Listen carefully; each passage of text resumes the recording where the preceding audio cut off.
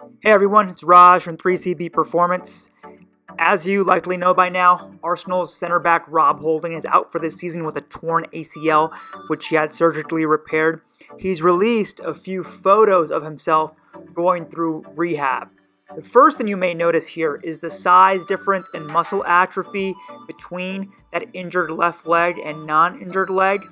And to that point, one of the key things that you work on after an ACL repair is regaining strength in the injured leg. The goal was having within 10% side to side symmetry, but research has shown that can take upwards of two years. A key reason for that is because that strength level in the higher echelon requires high intensity, high load exercises.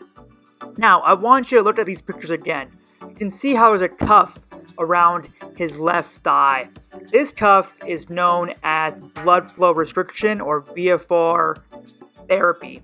And this therapy may be changing the paradigm of rehab.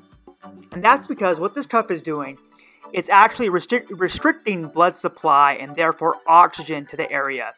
What this does is recruit Holding's bigger, faster, fast twitch type 2 muscles more so than his endurance based slow twitch type 1 muscles, and that's because those type 1 muscles rely on oxygen to feed off of.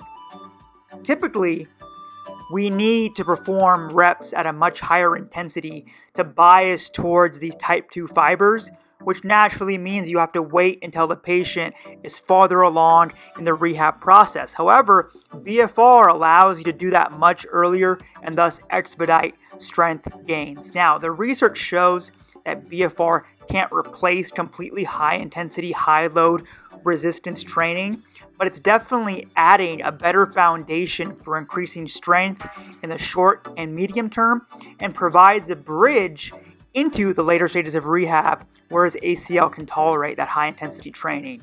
So that does it for this episode. You can always find me at Instagram or Twitter on 3CB Performance. 3CB out.